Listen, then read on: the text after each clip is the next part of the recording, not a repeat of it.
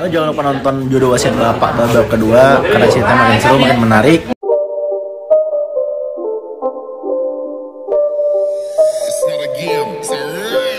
Assalamualaikum, saya Lesti Untuk teman-teman semuanya, jangan lupa like, comment, and subscribe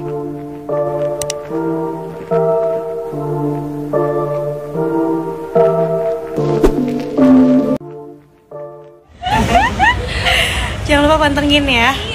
Ya, lo tuh harus semangat syuting. buat modal nikah kan. Penghasilan utama gue di sini nih.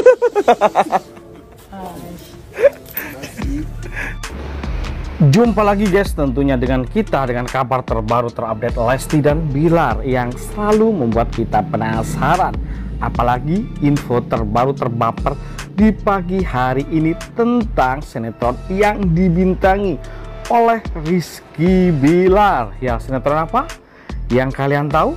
ya bener JWB Jodoh Wasiat Bapak Season 2 Babak 2 yang dibintangi oleh pemeran utama di Sky, Rizky Bilar dan Haris Friza beserta bintang-bintang lain yang menarik nyatanya ya karena perkembangan dan rating turun akhirnya pemeran utama akan digantikan oleh Didi Lesti dan Rizky Bilar benarkah demikian?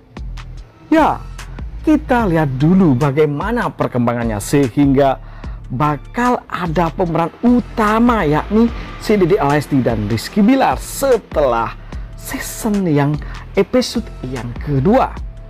Jodoh Wasiat Bapak JWB babak 2 mengalami pergantian jam tayang yang signifikan sempat tayang perdana di slot pukul 18.00 waktu Indonesia Barat kini JWB mengisi pukul 21.00 waktu Indonesia Barat di ANTV menggandeng pemain baru seperti Rizky Bilar, Haris Friza, Haris Sky, hingga Devina Kirana tak membuat JWB babak 2 seprima season awalnya dengan pergantian jam tayang ini apakah memperbaiki performanya?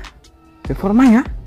Sayangnya episode Kamis 11 Februari JWB babak 2 hanya meraih share 6% dan melorot menjadi 5,6% pada episode Jumat 12 Februari.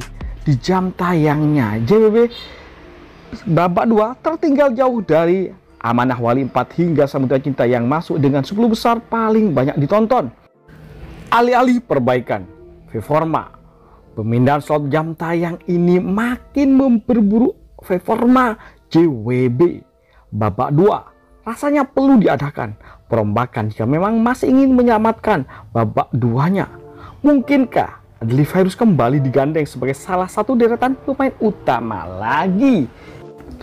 Hal tersebut disampaikan oleh pemerhati pertelevisian yang tentu prihatin dengan perkembangan jodoh wasiat Bapak Jilid 2 ini.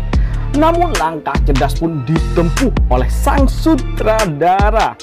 Nyatanya sutradara sudah akan membuat cerita baru yang akan membuat GWB ini semakin dikenang semakin layak untuk ditonton.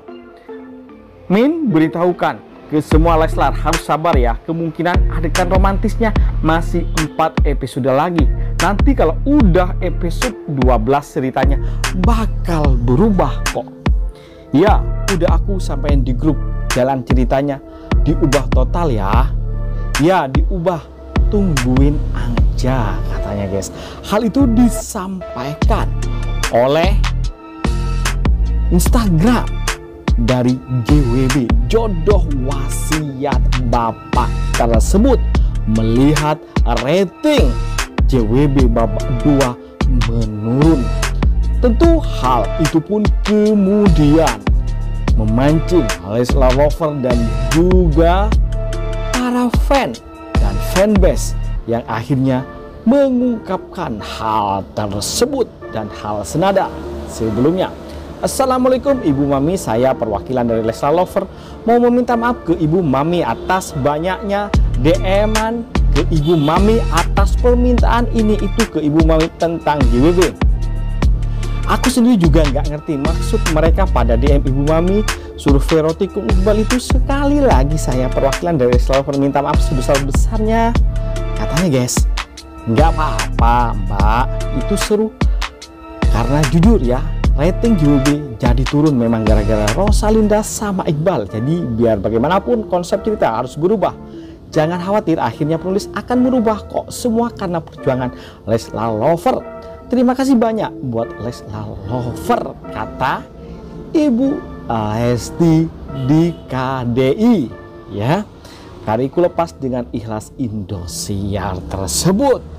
Rupanya sang sutradara juga melirik kekasih Rizky Wilar untuk menunjang penampilan dan rating pertelevisian agar nantinya JWB babak 2 menjadi jawaban sinetron epik dan apik yang tentunya selalu ditunggu oleh para penikmat JWB yang mana kita semua sama-sama antusias menunggu dan mendukung apa pun yang dilakukan. Apalagi hal tersebut adalah demi kekasih Lesti Kejora. Rizky Bilar yang selalu berjuang demi kekasihnya itu. Tentu saja dengan umpamanya berubahnya skenario dan juga fake Dede Lesti akan menggantikan pemeran utama di JWB tersebut harapan kita ntar semua akan lebih baik. Apa adanya. Tentu kita selalu menginginkan hal-hal yang terbaik bagi karir Lesti maupun Bilar. Makanya tak heran kita selalu support mereka apa pun yang mereka lakukan.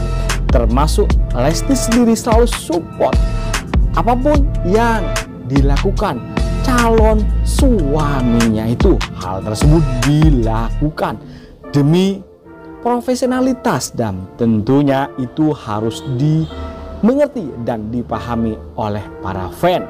Tentunya kita berharap ke depannya JWB sebagai sinetron yang dibintangi Rizky Bilar apalagi ntar juga ada di Lesti. Semoga hal tersebut menjadi semakin menarik.